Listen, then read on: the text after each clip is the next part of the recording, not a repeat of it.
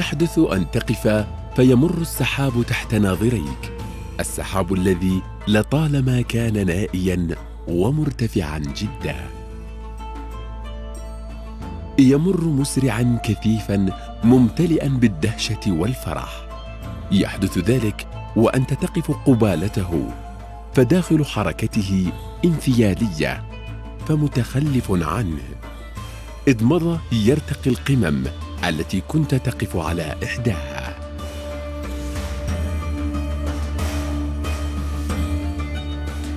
يحدث ذلك والجبال تردد صدى الأغنيات وتذكر الأجيال بما قدمه أسلافهم وبالعلاقة بينه وبينهم.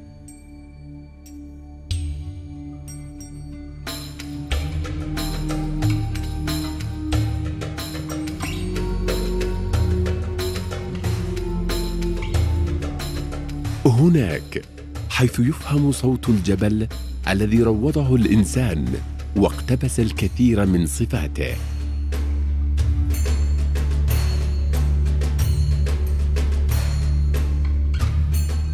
وكل يوم يبدأ هو يوم جديد من الاستعداد والتأهب يخرج فيه الرجل وكأنه يومه الأول في الحياة.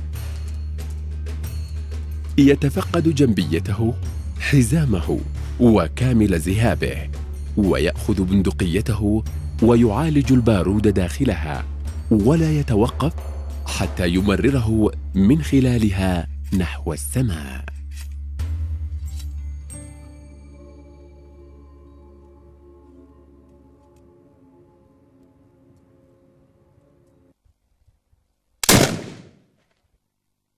نشأت الفنون في السابق استعراض للقوة وللحروب وإبراز ما لدى القبيلة من رجال ومن سلاح.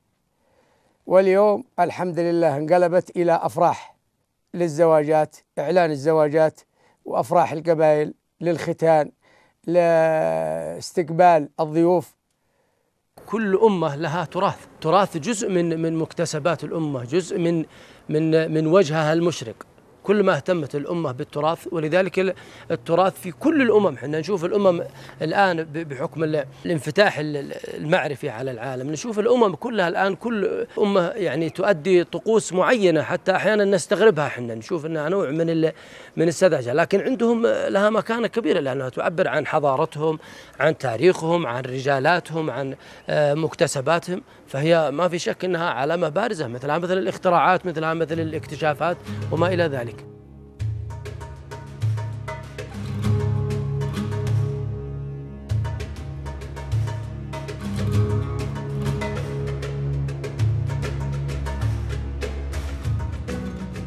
ذلك التأهب لم يتوقف على جيل بحاله إنه استعداد يمتد لقرون وكأن الأجيال جيل واحد.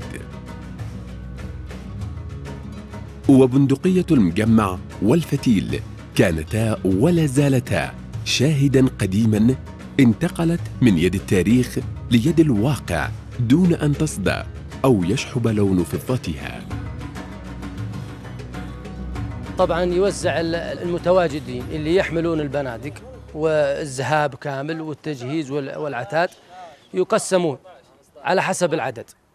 أحيانا قليل أحيانا كثير أحيانا ممكن يشاركوا إلى 100 أو 200 في بعض القبائل في السابق كانت تشارك إلى 200 شخص. كل شبابها وكل رجالها وشيابها يخرجون للاستعراض. لأن كما قلت القبائل الثانية من من كل المناطق والمت... لازم إذا في حفل عند قبيلة فلان يروحون يشوفون يخيلون يعني يعني يستمتعون بل فكل قبيلة تبغى تبرز للقبيلة الثانية من عندنا شباب وعندنا عتاد وعندنا سلاح وعندنا كل شيء.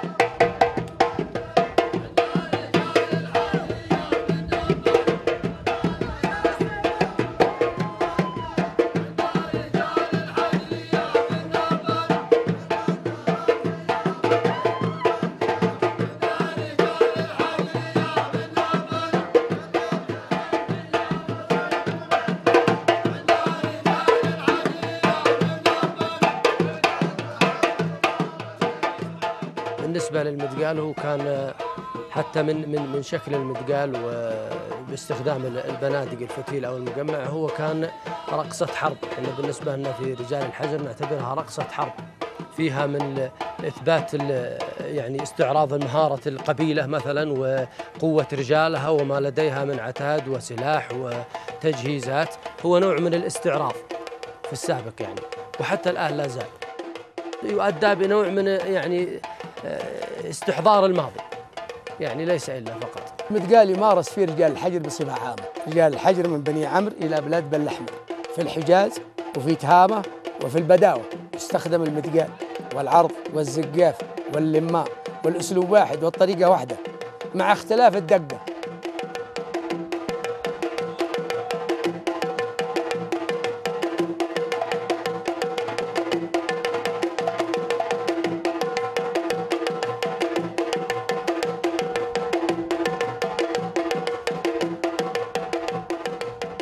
ولن تجد من يؤدي لون المدقال بيد خاوية.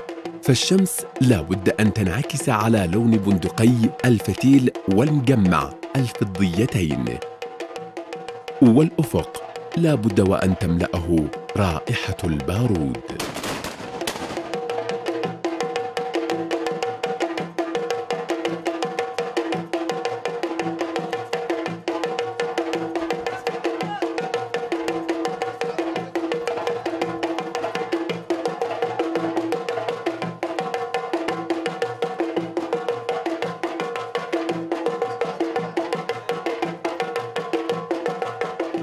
طبعا السلاح نوعين اللي هي المجمع والفتيل.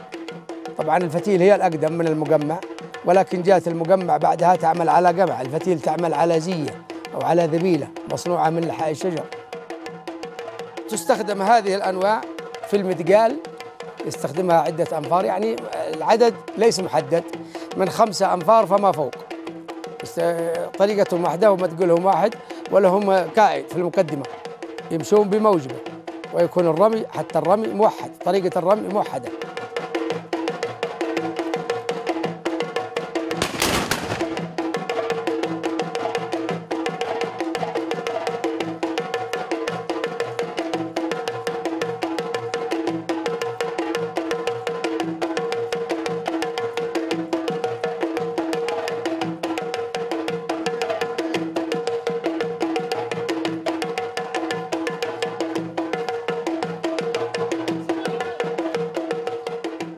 المدقال يؤدى طبعا يقسم الأشخاص إلى صفوف. كل صف فيه على حسب الموجود يعني. إذا مثلا هم 100 يقسموا مثلا من 15 من 10 من حسب اتساع الميدان.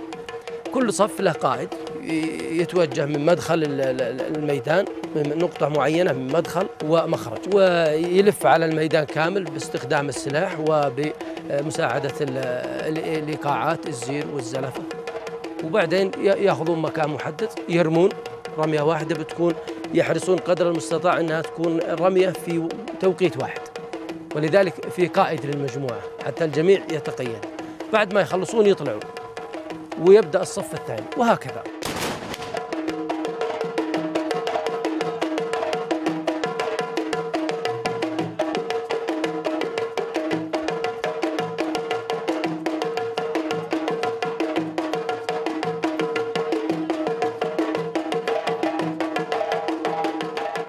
يدخلون مثلا عشرة أشخاص بقيادة واحد في المقدمة يمشون معه لين يوصلون حد معين. آه، الصف الثاني جاهز بعده يكون جاهز بس إنه ما يمشي لين يخلص الصف هذا ويرمي. إذا رمى الأول وخلص الدقل يجي الصف الثاني بعده. يبدأ يتمركز هذا انتهى أنهى مهمته. يروح يرجع يعبي البندق ثاني مرة بارود ويركب القمعة ويجهز.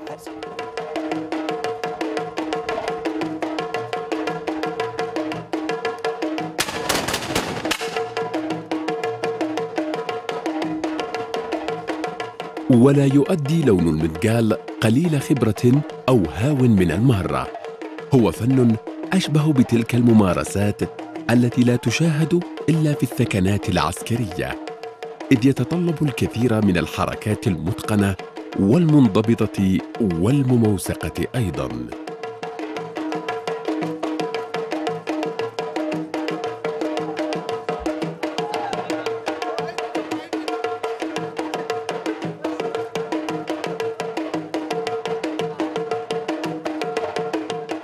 في المدقال لابد من استخدام البندق هو أساسا عمل المدقال من أجل استعراض السلاح من أجل استعراض القوة والبنادق والعتاد فهو فن مستقل لكنه قريب من العرضه جدا يعني حتى ال ال الإيقاعات واحدة.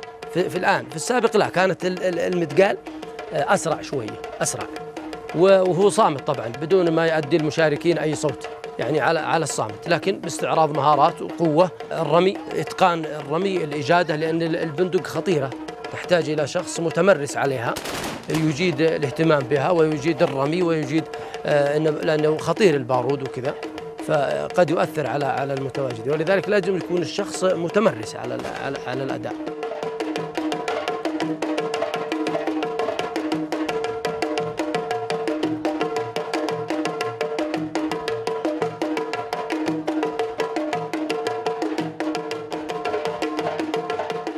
يتخلل المدقال اللمة وهو قذف البندق في السماء لناس متخصصين فيها ويلتقفها ويرمي على طول.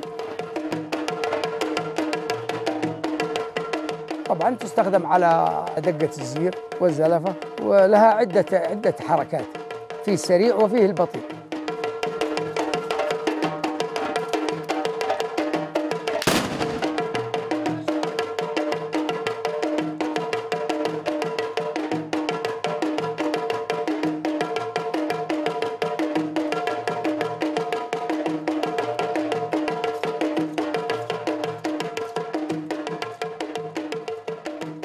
وبما أن البندقية ضرورة محببة لأداء لون المدقال فإنها تستحق الكثير من العناية والاستعداد والحب أيضا. هذا طال عمرك تعبية البندقية تعبية واحدة. تسمى مطرفة أو رأس المطرفة. يتعبى بارود ويوضع في البندق وهذا يعتبر مكيال. هذا الحزام طال عمرك يسمى الذهاب.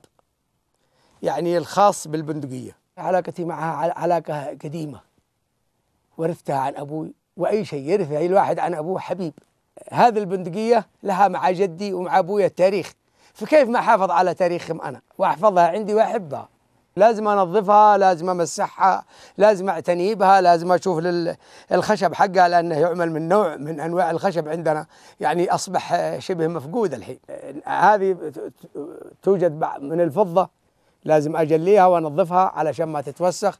آه، المدخل هذا من الذرة ومن الحلا هذا لو ما حافظت عليه المريز هذا ما عاد ينفك يمسك.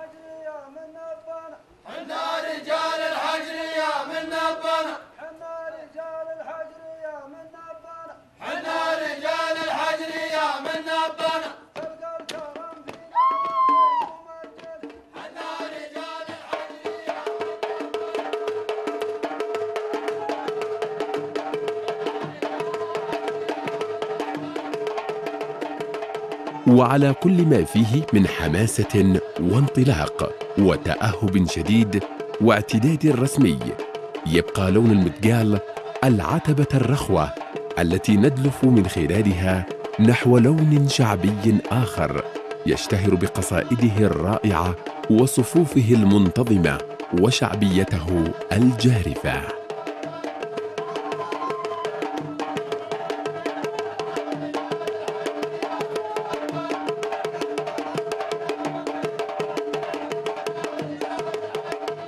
العرضة نفس المشاركين في المدقان يدخلوا جماعي. يخرجون خارج الميدان وبعدين يبدأون بقصيدة ويدخلون لنفس الميدان بس بصفوف أكثر ونفس الصفوف اللي شاركت.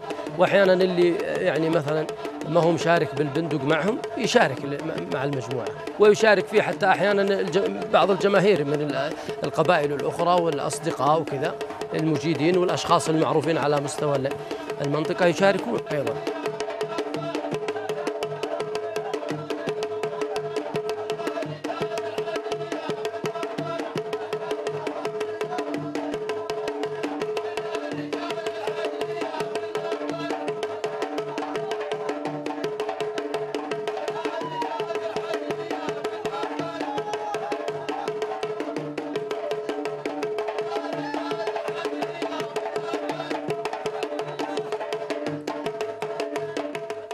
والعرضة كذلك رقصة حرب. لكنه يبين في في, في العرضة بالذات استعراض القوة ويفهم اللي أمامه بأن نحن القبيلة الفلانية وصفنا كذا وكذا وكذا وعندنا من القوة ما هو كذا وكذا ورجلنا اللي وصفه كذا يعني مدح في في في, في الموجودين في المنطقة يعني. يعني يكون في المقدمة أعيان القبيلة وشيخ القبيلة وكبار السن والضيوف الموجودين يعني من كبار الضيوف ثم الصف الثاني اللي بعدهم ثم بقية الصفوف آه، من اثنين أو من ثلاثة على حسب المكان وعلى حسب الموجودين. وتؤدى طال عمرك جماعية. طبعا يكون في العرضة آه، يكون فيها شعر شعراء يقولون لها المسيرة. يا لا لا لا لا لا لا لا لا لا لا لا والثقي قنوات الوطن والحكومة والثقي عن قبايلنا وعاداتها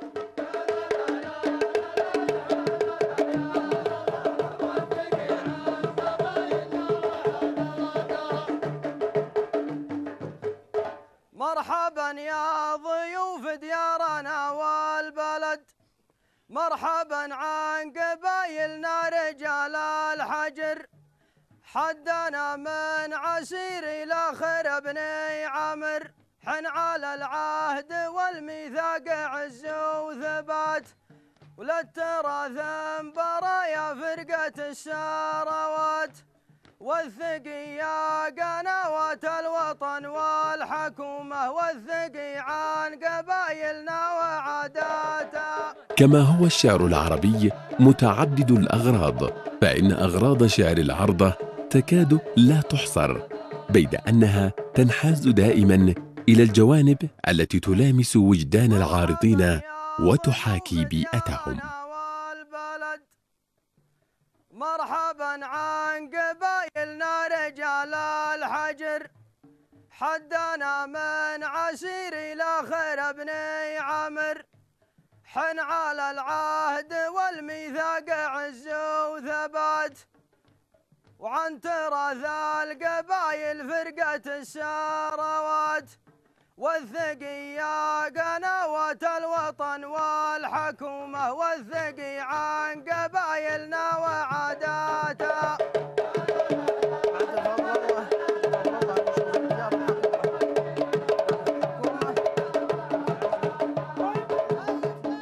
طبعا إذا قال مثلا خمسين بيت نهايتها بيتين. المجموعة هذول ينقسمون إلى صفين.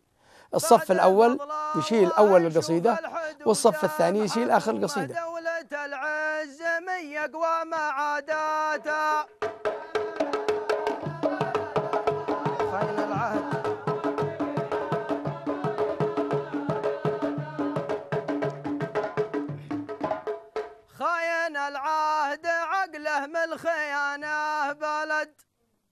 قلبه من الحسد والحقد مثل الحجر. كيف يعدى كريم للمعالي عمر؟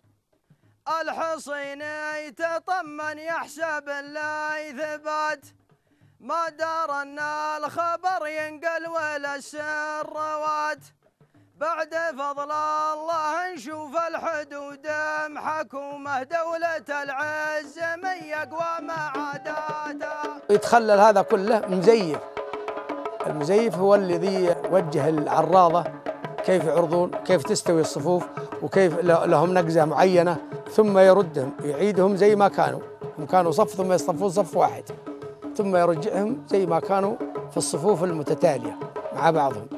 المتقال قصير واللعب يكون أحيانا قصير لكن العرضة تكون أطول وقت لأن فيها شعراء ويتكلمون الشعار كثير وقصائد طويلة مسيرات طويلة فلذلك تأخذ وقت أطول.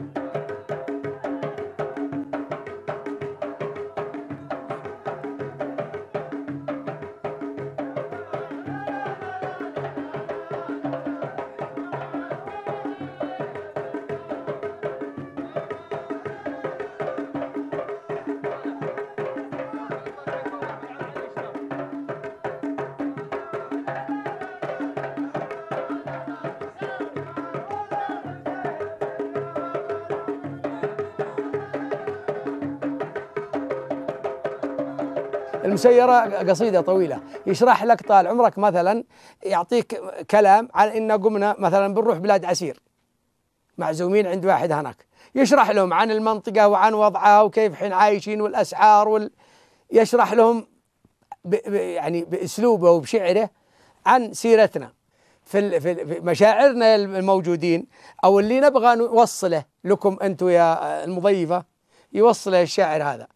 لأن الشاعر يتكلم بمشاعر يعني يعبر عنا الموجودين بشعر. لا لا لا لا لا لا لا لا شهري وعمري وأحمري وأسمري حنا رجال الحجر نحمي بلدنا يوم الوغى نفديه برقابنا.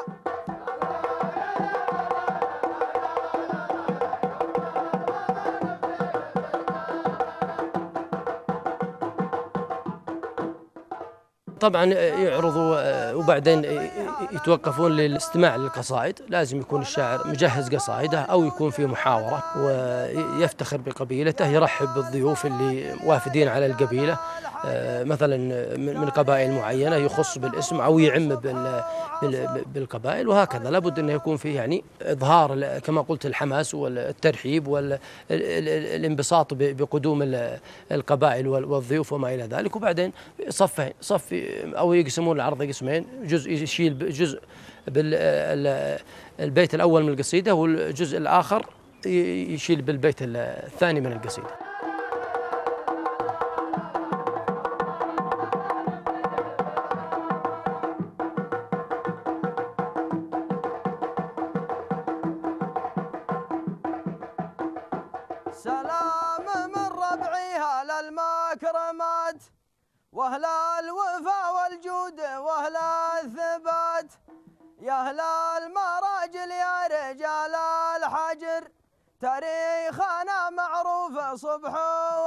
وعصر شهري وعمري وأحمري وأسمري حنا رجال الحجر نحمي بلدنا يوم الوغى نفديها برقابنا. فيه أكثر من 120 لحن وكل شوية يظهر لحن جديد غير الأول. وفي الشعراء ذا الحين قاموا يطلعون ألحان خاصة بهم.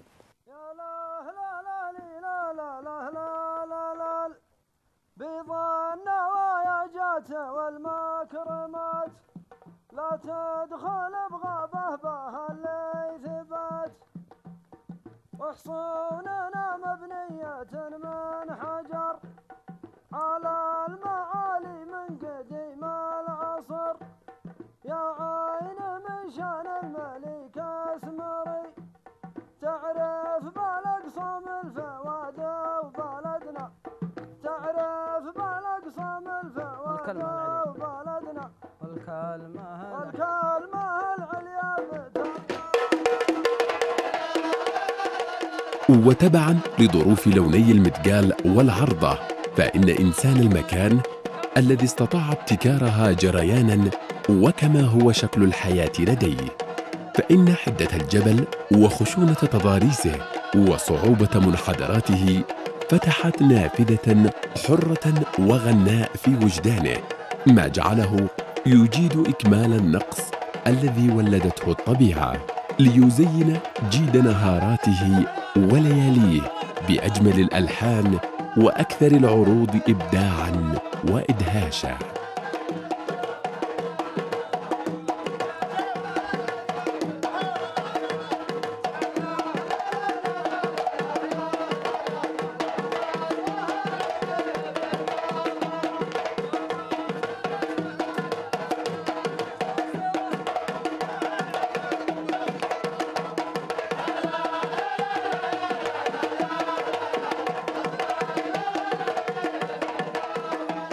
لن يدخل ميدان إلا محب لهذا التراث يعني جاء طواعية وباختياره آه، راغب في أنه يمثل التراث ومجيده تمام؟ وعنده آه، سلاحه وعنده بندقه. وبالتالي الشخص أنت لما تؤدي عمل وأنت راغب فيه تؤديه ب ب يعني تسعى لأفضل درجات الكمال والجودة، فهذا اللي حاصل فعلا. الشباب في العرضة عندهم حماس، عندهم رغبة في إن التراث يظهر بمظهر جميل.